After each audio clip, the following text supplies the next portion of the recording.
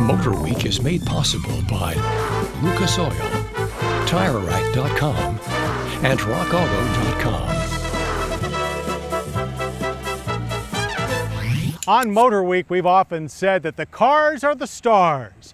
But in Hollywood, it's the people that count most. Even the most exciting cars have always played a secondary role to the flesh and blood actors. But we wouldn't be Motor Week if we didn't see that four-wheeled performers get some recognition. So let's join Jennifer Khasnabis as she introduces you to our candidate for this year's Best Supporting Vehicle. Tomb Raider. Tomb Raider. Tomb Raider. Angelina Jolie. Angelina Jolie. Angelina, Angelina Jolie. Is Lara Croft. Lara Croft. Angelina Jolie is the star of the 2001 summer blockbuster Tomb Raider, but there's another major character in the movie, but the funny thing is, she has no speaking part. She doesn't have to speak. The bold presence of this custom Defender 110 makes sure that when you think of the film, you think of Land Rover. Tomb Raider, uh, the Defender 110, is in the movie, and it's a special one-off vehicle that we built specifically for this movie. Land Rover Special Vehicles in England built this vehicle. Appropriate because Angelina Jolie's character Lara Croft is British. Born into wealth, she's suddenly faced with the responsibility of finding two artifacts which give ultimate power to its possessor. The Defender 110 in the movie basically takes her to Cambodia, where the search really begins. A great plot for Land Rover because adventure is what their vehicles are all about. The vehicle and the association with the movie very much signifies the adventure element of what Land Rover is all about. We want to be all about adventure. We want to be about guts and doing exotic things in exotic locations. And this is what this movie's about, and the association is perfect. And the vehicle fits into the movie very well.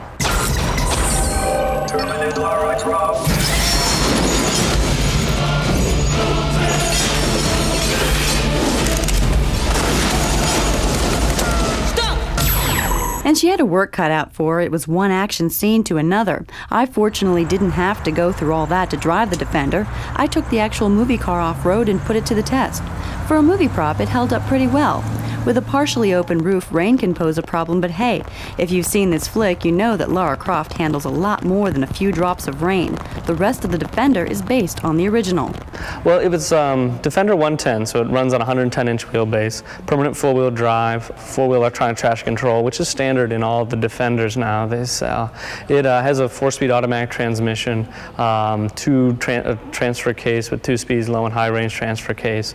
Um, those are all available in every Defender you buy. That's uh, key to all Land Rover products, the permanent four-wheel drive, the four-wheel traction control, locking center differential on the Defender. The engine is a 4 liter V8 and produces about 190 horsepower. Now, Ms. Croft may be tough, but she's not uncivilized. An Ericsson phone and GPS navigation system are included. For those sticky situations, she has side, front, and rear winches, a first aid kit, emergency kill buttons, and a fender mounted shovel and axe. The entire vehicle displays Land Rover. Well, with what people are doing in movies nowadays, the authenticity of movies is very important. As the movie's loosely based on the Lara Croft video game, in the video game, she has a Land Rover. And they came to us and said, well, we're trying to make an authentic reproduction. We want this to be an authentic movie. And it worked. Tomb Raider has so far grossed over $130 million, and the number keeps growing.